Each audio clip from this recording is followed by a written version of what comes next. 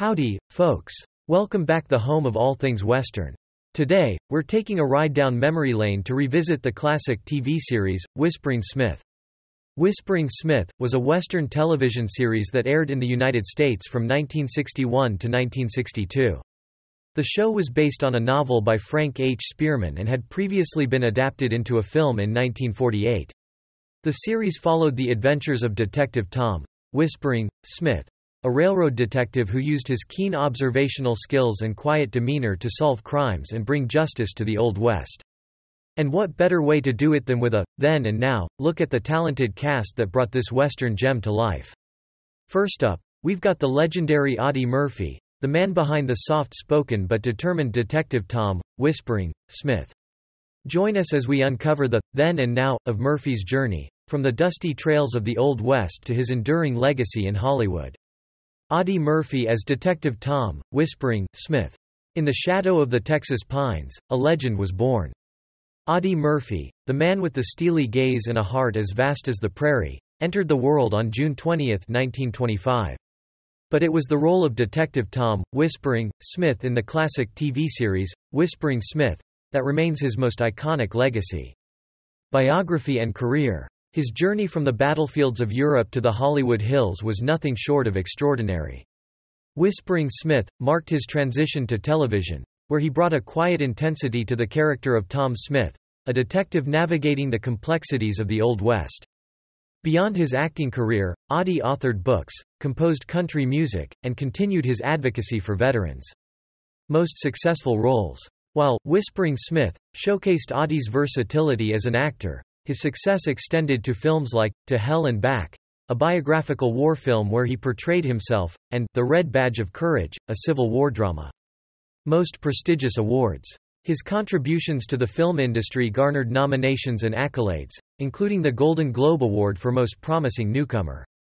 Reason for death. On May 28, 1971, tragedy struck as Audie Murphy lost his life in a plane crash near Brush Mountain, Virginia, at the age of 45.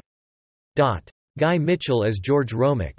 Born Albert Cernik on February 22, 1927, in Detroit, Michigan, Guy's journey harmonized with the rhythm of the American West. But it was the role of George Romack in Whispering Smith that added a cowboy hat to his repertoire. Biography and career. Guy Mitchell's journey began in the world of music, where he swiftly climbed the charts with hits like Singing the Blues and Heartaches by the Number. His transition to acting included notable roles in westerns, and, Whispering Smith, showcased his versatility as George Romack, a character entwined with the tapestry of the Old West. Most successful roles. While George Romack brought a musical cowboy charm to Whispering Smith, Guy Mitchell's success extended to films like Red Garters and Those Redheads from Seattle.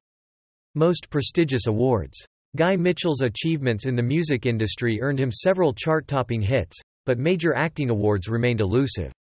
Reason for death. On July 1, 1999, Guy Mitchell passed away at the age of 72. The cause of death was attributed to complications from heart surgery. Sam Buffington as Murray Sinclair.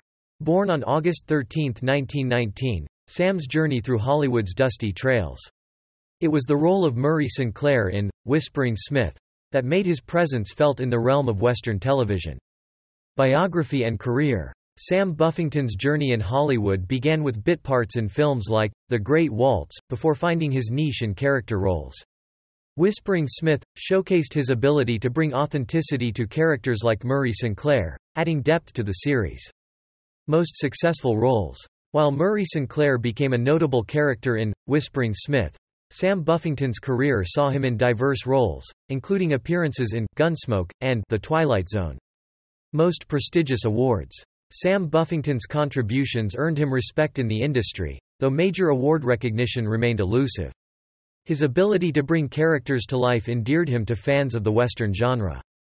Reason for death. On January 30, 1990, Sam Buffington passed away at the age of 70. The cause of death was attributed to respiratory failure. Robert Foulk as Sheriff Frank Emmett. Born on May 5, 1908, in Philadelphia, Pennsylvania, rode into the world of Hollywood with the grit of a seasoned lawman. It was the role of Sheriff Frank Emmett in Whispering Smith that etched his name in the annals of Western television.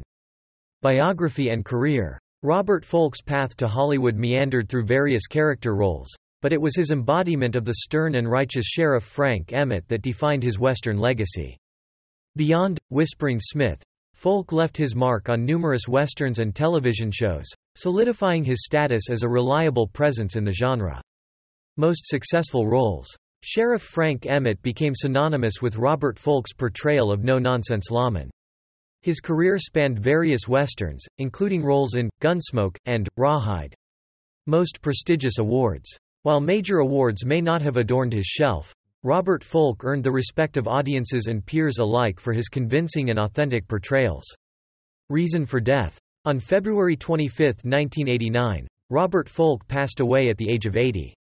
Robert Knapp as Lieutenant George Kennedy. Robert Knapp born on March 13, 1924, in Los Angeles, California, ventured into Hollywood's dramatic landscapes.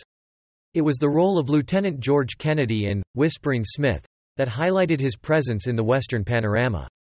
Biography and career Robert Knapp's foray into acting took root in his hometown of Los Angeles.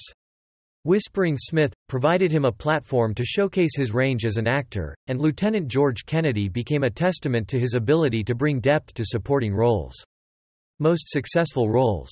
Lieutenant George Kennedy added a layer of military precision to Whispering Smith. But Robert Knapp's career included appearances in popular series like Perry Mason and The Twilight Zone. Most prestigious awards. While major awards remained elusive, Robert Knapp's contributions to the world of television earned him the admiration of fans. Reason for death. On May 17, 2001, Robert Knapp passed away at the age of 77. The cause of death was attributed to complications from surgery. Eve McVeagh as Mama Malone. Eve McVeagh, born on July 15, 1919, in Cincinnati, Ohio, sauntered into Hollywood with a flair that left an enduring mark.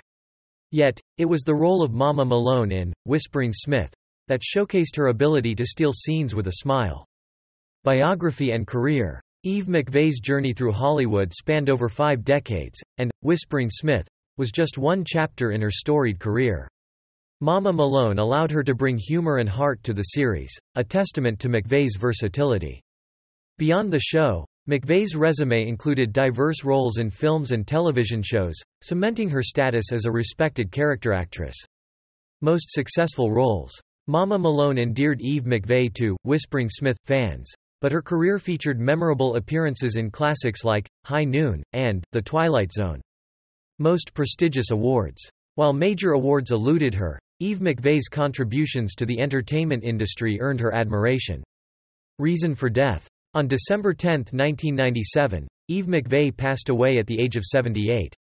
And there you have it, the tales of the unsung heroes of Whispering Smith, Robert Foulk, Robert Knapp, and Eve McVeagh.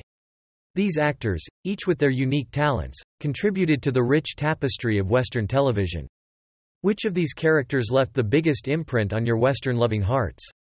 Share your thoughts, memories, and favorite moments in the comments below. Let's turn this video into a gathering place where fans from every corner of the globe can celebrate the often overlooked but always essential characters of Whispering Smith.